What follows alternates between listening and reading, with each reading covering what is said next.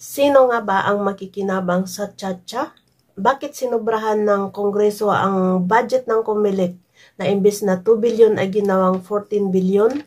Yung sobra ba na 12 billion ang ginagamit ngayon doon sa pagpirma sa People's Initiative o Chacha, yung isang daang piso kada pirma?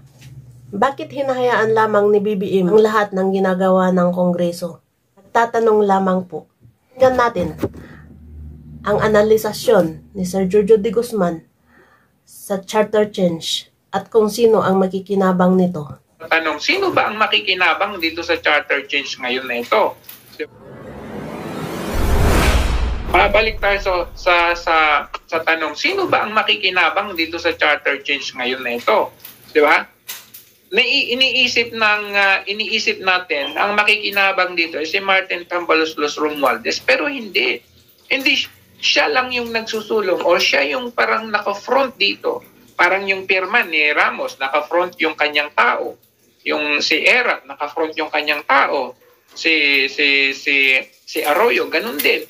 Pero behind that, si, yung yung pangulo, yung nasa likod niyan because yung fear nga andun sa mindset ng tao na nadala yung tao na this is for the basic reason kung bakit takot yung tao dito is extension of term, okay? Or even omission of term limits. Kasi magiging ano ka dito, par, magiging parliamentary, magiging prime minister ka na dito. At ulitin ko, pag sinabi nating prime minister, walang limit ang term mo. Diba? Walang limit. Ngayon, balik tayo dito sa charter change. Diba? Bakit ganun ang estilo na to the point na ginamit nila ang People's Initiative pero panlilin lang ang ginagawa nila. Tinatago nila sa sa ayuda or whatsoever, parang binibili ang boto para magkaroon, magka-garner ng 12% of the total voters sa Pilipinas. Diba?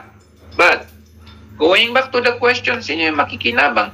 Edi, walang iba kundi si Marcos Jr. ang makikinabang dito. Siya ang magiging last president of the Philippines. Bakit? Eh, magiging prime minister na siya eh. Wala nang limit. Oo. Pag siya naging prime minister, okay, the last president of the Philippines, abay, kung ngayon nga na president siya, makapangyarihan eh. Di ba? Kung ngayon eh, nag-presidente pa lang siya, whole of the nation approach, magsalita ka, ay, lagot ka sa DOJ, lagot ka sa PNP, lagot ka sa P, uh, AFP, lagot ka sa sa lahat ng ahensya ng gobyerno, presidente pa lang yan. Lagot ka din. Kahit mga media, itikom na yung bibig, di ba? Uh, kahit general ka, makukulong ka. Uh, kahit congressman ka, magiging terorista ka. So, ngayon pa lang na presidente yan. Pag yan ay naging prime minister, hawak niya lang talaga lahat yan at walang term limit. Yung inaantay natin na 6 years, bakit ang tagal? Ay magiging wala na yan. Unlimited na ang termino. So, sa aking paniniwala, ay hindi si Martin Romualdez ang may kinabang dito, kundi yung yang si si Marcos Jr. ang makikinabang dito kasi magiging prime minister na siya. He would be the last president of the Philippines, okay, having the fruit of this charter change, na magiging prime minister na siya, eh nakakatakot yun. Right? So, yun yung ano natin, yun yung yung iwasan natin at nakakatakot dahil nakakatakot yan na mangyari kasi eh gusto, ayaw alam mo yun parang ayaw man natin kung yan ay mangyari eh parang magiging back to the history tayo parang like father, like son. Di ba? Well, the father has more something uh, na na-offer sa atin uh, na natatamasa natin ngayon. Okay? But this administration, the, the son, is wala na ngang mga infrastructures, wala na ngang naipakita sa atin Okay, all of those sinasabi na wala na drug free na tayo. uh, uh, halos ano ano 90 90% na kumpleto na yung mga infrastructures natin. Halos uh, those are all delusional. Delusional kasi sinasabi na okay na tayo yung peace and order natin. Wala na tayong drug problem. okay na yung economy natin. 90 yung mga investors natin. But literally, no, yung mga common tao hindi naman nararamdaman. Yung mga yan na sinasabi na eto mga datos-datos, mga data lang yan. Mga, kumbaga, pwede mong i-manipulate yung mga datos na yan. Binabasa mo lang yan. Ito yung, uh, ito yung achievements ngayong taon. But, kung, kung pumunta ka sa grounds, nararamdaman ba yan ng taong bayan? Oh, nung panahon ni Duterte, wala siyang binabasang mga ganyan. Ah, ito na, 90% achieve na. Ah, ito, wala, wala siyang binabasang mga datos-datos na mga ganyan. Pero ramdam na ramdam natin yung big change, no? Yung yung sudden, yung parang ano mo yung uh, yung yung laki ng pagbabago na nararamdaman natin sa sarili natin kay mambabalot ka man o uh, magsasaka ka man kay OFW ka man super ka man, ramdam na ramdam mo yung pagbabago. Kahit na walang mga ganyang report-report na yan. That is the, the big difference, contrasting difference doon sa former administ- administration sa administration ngayon. Diba? Yan, tama. Puro kasi nungalingan. It's, it's an illusion for us to believe na ito ang achievement ngayon. Okay na yung bansa natin ngayon. It's an illusion. But yung illusion nga, di ba, naniniwala tayo? Ah, kasi kapanipaniwala, pag merong isang uh, perong illusionary effect ang isang magician, wow, grabe naman yun, naputol yung katawan pero buhay pa yung tao. Naniniwala tayo kasi kapanipaniwala. Pero ito, illusionary effect na nga, hindi ka panipaniwala. Bakit? Igutom yung mga sikmura natin. Eh, mga gutom tayo eh. So kahit anong ginagawang pag pag uh, illusionary display dyan, no? Hindi kami naniniwala kasi hindi namin ramdam. No? Hirap na hirap ang taong bayan. So, eto pa lang, president pa lang siya. How much more pag siya na ay prime minister? So, buti nga kung prime minister eh. Ba? Buti nga kung parliamentary form of government, okay?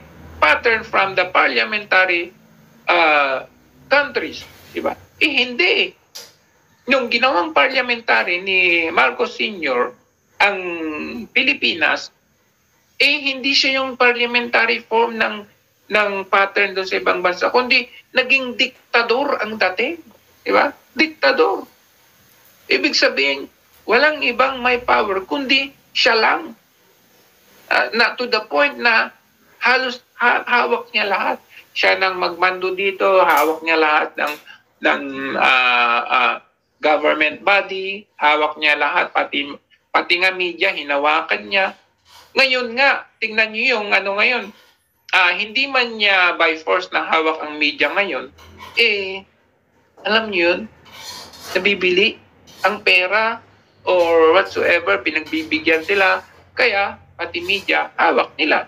Hindi man yun by force. But it's very dangerous kasi nga president pa lang siya ngayon eh nagagawa niya ang mga nag, ang ang gusto niyang gawin, how much more kapag naging uh, pag nagpatuloy na itong charter change na yun. Kaya nananawagan po ako sa taong bayan.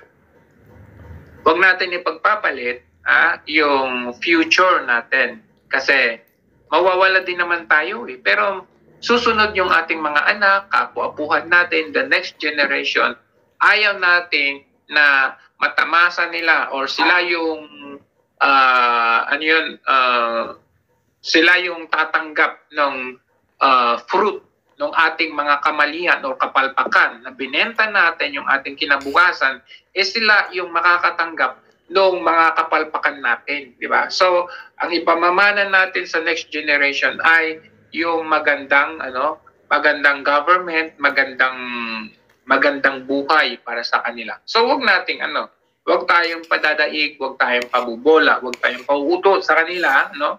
Kasi uh, kawawa ang next generation. generation.